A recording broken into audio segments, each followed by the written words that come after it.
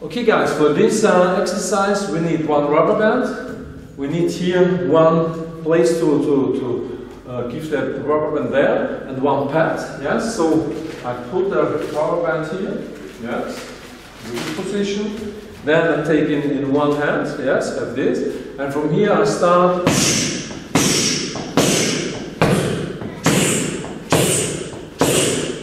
with the punching, yes, you can do on the right side, on the left side.